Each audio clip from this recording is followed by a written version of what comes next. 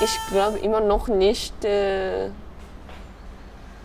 ich, ich bin Bürgermeisterin geworden. Ist mir egal.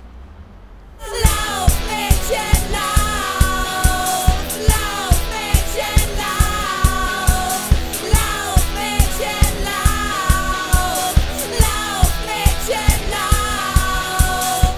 konnte mir 13 Spiele live im Stadion ansehen. Es waren ähm, sehr, sehr gute Spiele dabei.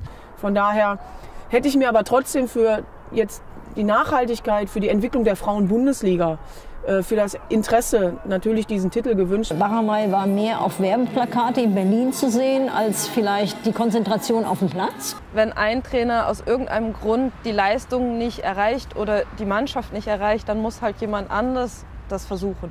Spielst du selber eigentlich noch? Oh Gottes Willen. Die Mädels sind alle viel zu gut für mich. Wie eine Schwalbe noch keinen Sommer macht, macht eine Frauenfußball-WM hier auch noch nicht den großen Unterschied. Kick